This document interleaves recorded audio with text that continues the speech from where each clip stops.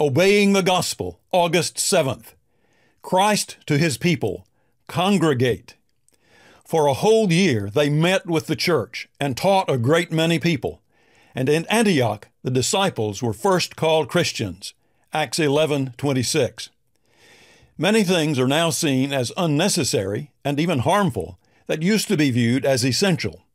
One of these is marriage. Chelsea Sullivan, a friend who used to manage a Starbucks in Vermont, said that when customers would hear that she was married, they would express shock and disbelief. Yes, a committed relationship is okay, but at this date, why in the world would a seemingly normal person like you want to be married? Another, now seen as unnecessary concept, is church. When organized religion is spoken of today, it's usually not with admiration. As with marriage, Many argue that the benefits can be enjoyed without the traditional obligations.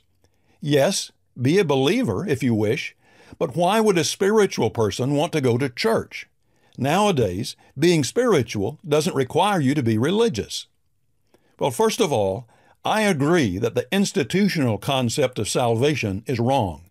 The church does not stand between us and God or dispense salvation on His behalf.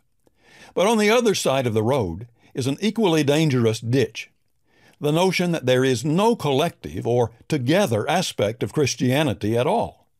Our vertical relationship with God is primary, but that doesn't mean that a horizontal relationship with other Christians is merely optional.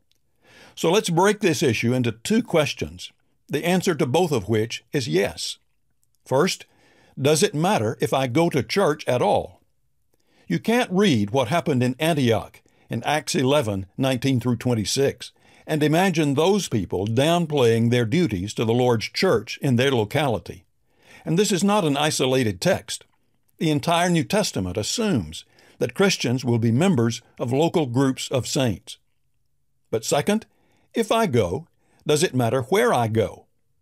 In the first century, it wasn't long before people began departing from the apostles' teaching. See, for example, 1 John 2 18 and 19, and 2 John 7 through 11. Today, the problem is even worse. So we need to be careful. Not every church we might check out is one which the Lord would recognize as being true to Him. And studying the Scriptures is the only way to know what markers we ought to be looking for. C.S. Lewis was on target when he said, The New Testament does not envisage solitary religion. Some kind of regular assembly for worship and instruction is everywhere taken for granted in the epistles.